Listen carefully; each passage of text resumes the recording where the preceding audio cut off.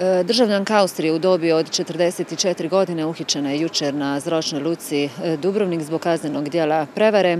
Utvrđeno je da je sredinom studenog koristila usluge jedne privatne dentalne ustanove na području Župe Dubrovačke. Konkretno e, rodilo se u gradnji šest implantanata i korekciji koštanog defekta. Račun za navedene usluge iznosio je 4800 eura koje se osumnjičena obvezala platiti do 23. studenog. Budući budući da račun nije platila, ustanova je cijeli slučaj prijavila policiji.